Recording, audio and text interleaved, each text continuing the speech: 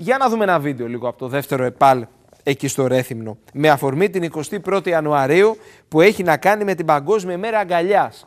Και εστιάζουμε λίγο στην ε, Παγκόσμια Μέρα Αγκαλιάς καθώς πόσο πολύ μας έλειψε αυτή η χειρονομία, αυτή η στάση του σώματος, αυτή η ξεχωριστή σταναστροφή με το διπλανό, με την οικογένειά μας, με τον φίλο μας, με τη φίλη μας. Τόσο πολύ μας έλειψε και βλέπουμε αυτά τα ξεχωριστά μηνύματα όλων των παιδιών. Ανοίγουμε μια αγκαλιά, απλόχερα τη δίνουμε στο διπλανό μας, λειτουργεί ευεργετικά, νιώθουμε ασφάλεια και σιγουριά, διώχνει τη μοναξία και τι δημιουργεί και όμορφα συναισθήματα. Λοιπόν, θέλω να πάμε στην κυρία Ειρήνη Σοπασί, εκπαιδευτικό.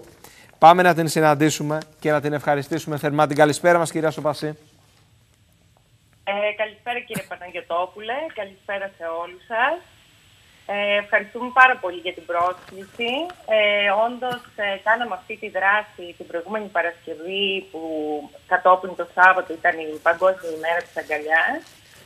Ε, πολύ σωστά τα αναφέρατε ότι όντως μας έχει λείψει η αγκαλιά τα τελευταία δύο-τρία χρόνια λόγω του κορονοϊού και τώρα λόγω της γρήπης και όλων των υπόλοιπων ιώσεων αλλά τα παιδιά που φέρθηκαν με μεγάλη αγκαλιά ε, και να αγκαλιάσουν τους μαθητές τους, αλλά και όλους εμάς τους εκπαιδευτικούς. Ε, πραγματικά μας έδωσε τεράστια χαρά ε, η προσπάθεια αυτή των παιδιών να θέλουν να μας αγκαλιάσουν, να χαμογελάσουν ε, μαζί μας, να φωτογραφιστούν. Γι' αυτό άλλωστε θα δείτε και στο βιντεάκι που έχουμε φτιάξει με τα παιδιά ότι είμαστε μια τεράστια αγκαλιά και όχι δύο-δύο οι περισσότερες φωτογραφίες. Ε, και πολύ σωστά αναφέρατε ότι όντως ε, και για μας ε, θεωρούμε ότι η μέρα αγκαλιάς ε, και η αγκαλιά γενικότερα στην καθημερινή βάση λειτουργεί ευεργετικά και στο πνεύμα και στη δική μας. τα παιδιά και λόγω του COVID αλλά και των διαγωνισμάτων επειδή τελειώνει τώρα και το τετράμινό μας έχουν πραγματικά άγχος οπότε μία αγκαλιά του χρειάζονται πολύ περισσότερο. Ε, οπότε, ορμόμενοι και από τις άλλες δράσεις που έχουμε κάνει στα πλαίσια του προγράμματος ε, που είμαστε σχολείο πρέσβης του Ευρωπαϊκού Κοινοβουλίου, εντάξαμε και τη συγκεκριμένη δράση.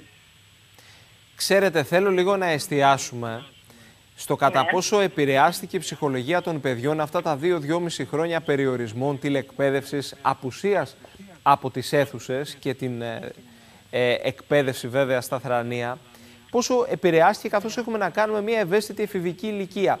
Βλέπουμε τα παιδιά, καθώς αν δεν το ήθελαν τα παιδιά δεν θα είχαμε αυτό το αποτέλεσμα, αλλά βλέπουμε πόσο πολύ τους έλειψε αυτή η αναστροφή με τον συνάνθρωπο. Ε, και είναι η γενιά της πανδημίας, έτσι δεν είναι; Είναι οι έφηβοι της πανδημίας που βίωσαν στο σχολείο αυτή την απομάκρυνση, στην τηλεκπαίδευση, στο σπίτι, με τα όποια προβλήματα και ψυχολογικά και πρακτικά.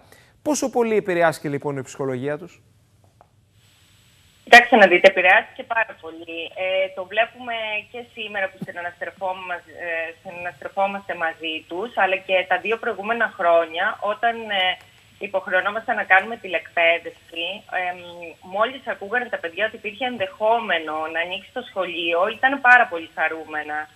Ε, αφού τους λέγαμε, κάναμε και πλάκα μεταξύ μας, ότι τους έλεγα καλά, παλιά ας πούμε, όταν λέγαμε αύριο θα κάνουμε σχολείο, πανηγυρίζα. Τώρα σας λέμε ανοίγει το σχολείο, πανηγυρίζετε. Λέει ναι, δεν μπορούμε άλλο σπίτι. Θέλουμε να δούμε τους φίλους μας, να συναναστραφούμε, να βγούμε έξω. Ε, Δυστυχώς τα παιδιά βίωσαν δύο χρόνια πολύ ε, κλείσιμο, ε, δεν κοινωνικοποιήθηκαν καθόλου και ειδικά τα παιδιά της εφηβείας δεν μπόρεσαν να ζήσουν αυτό το κομμάτι το ευαίσθητο και ιδιαίτερο της ζωής τους και τώρα προσπαθούν να επανέλθουν με όποιο τρόπο μπορούν, με αγκαλιές, με το να πάμε κάποια εκδρομή, να συμμετέχουν στις διάφορες δράσεις, ε, να μπορέσουν να κάνουν πράγματα που τα δύο προηγούμενα χρόνια δυστυχώς δεν τους επέτρεπε ε, ο κορονοϊός. Οπότε το συζητάμε συνέχεια, βλέπουμε τι μπορούμε να κάνουμε, μας προτείνουν δράσεις και τα ίδια τα παιδιά, ε, θέλουν να κάνουν πράγματα πέρα από το εκπαιδευτικό καθαρά κομμάτι ε, θέλουν να μας προτείνουν εκδρομές, εκπαιδευτικές δράσεις και αυτό μας ε, ευχαριστεί ιδιαίτερα γιατί ουσιαστικά ε, μας βοηθάει και στο δικό μας έργο, όχι μόνο στο εκπαιδευτικό, αλλά και στο γενικότερο εκπαιδευτικό ρόλο που έχει το, ένα σχολείο. Αναφορικά με την α, Παγκόσμια Μέρα Εκπαίδευσης, προηγήθηκε από εσάς, δεν ξέρω αν ακούσατε τη συνομιλία εκεί με τον κύριο Νικολαή, τον εκπαιδευτικό συντέλενδο, ε, ε, πόσοι συμβολισμοί προκύπτουν μέσα από αυτή τη σύνδεση και μέσα από αυτή την τοποθέτηση σε μια δύσκολη συγκυρία που χρειαζόμαστε τη στήριξη αυτών των μονάδων, αυτών των παιδιών να στηριχθούν και να παραμείνουν στον τόπο τους.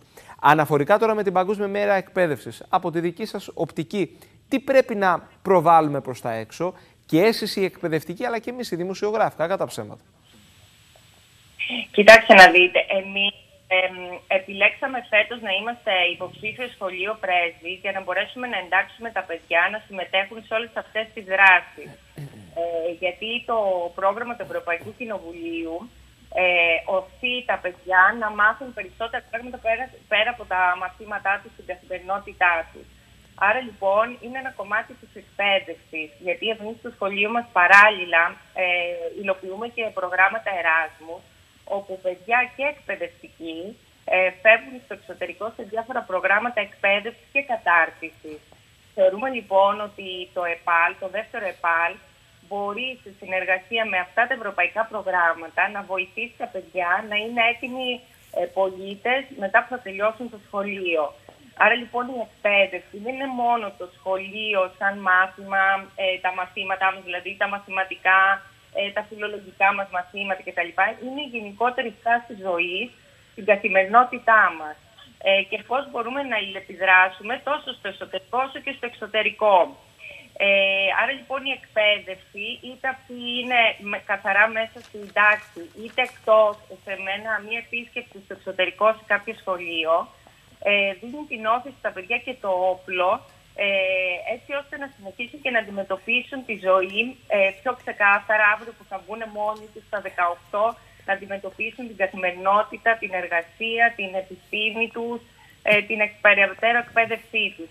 Άρα λοιπόν θεωρούμε ότι είναι ένα ισχυρό όπλο η εκπαίδευση ε, και η κατάρτιση που προσπαθούμε να δώσουμε στα παιδιά μας μέσα από το, και από το πρόγραμμα Erasmus αλλά και από το πρόγραμμα Σχολείο Πρέσβης διότι θέλουμε να τους ετοιμάσουμε να είναι έτοιμοι Ευρωπαίοι πολίτες, να μάθουν τι σημαίνει η Ευρωπαϊκή Ένωση, ε, τι σημαίνει ενεργός πολίτης. Αύριο πολλά παιδιά θέλουν να ανοίξουν τη δικιά τους επιχείρηση. Πώς θα το κάνουν αυτό, θέλουν να σπουδάσουν δωρεάν στο εξωτερικό. Πώς θα γίνει, θέλουν να κάνουν ε, ε, μια ανταλλαγή νέων στο εξωτερικό. Πώς θα γίνει αυτό; Όλα αυτά ε, θα προσπαθούμε σχεδόν κάθε εβδομάδα, οργανώνοντας την ημέρα ε, ενημερώνουμε για την Ευρώπη κάθε εβδομάδα, να τους μάθουμε και πραγματικά έχει πολύ μεγάλο ενδιαφέρον γιατί τα παιδιά ρωτάνε, θέλουν να μάθουν, γιατί ακούνε την Ευρώπη σαν κάτι μακρινό, σαν κάτι διαφορετικό, κάτι μακριά από την Κρήτη ε, ενώ τα παιδιά θέλουν να μάθουν πολύ περισσότερα πράγματα και να ωφεληθούν από αυτά τα προγράμματα της Ευρωπαϊκής Ένωσης. Πολλές οι πρωτοβουλίες σας, όμορφη αυτή εξωστρέφεια που δείχνετε εκεί προς την πλευρά και την μεριά της Ευρώπης, μόνο κερδισμένοι θα βγείτε και οι εκπαιδευτικοί αλλά και τα παιδιά. Να σας ευχαριστήσω θερμά. Εμείς σας ευχαριστούμε πολύ και να σας προσκαλέσουμε βεβαίως και στο σχολείο μας να παρακολουθήσετε τις δράσεις μας. Με μεγάλη χαρά. Με πολύ μεγάλη χαρά θα το κάνουμε. Να είστε καλά.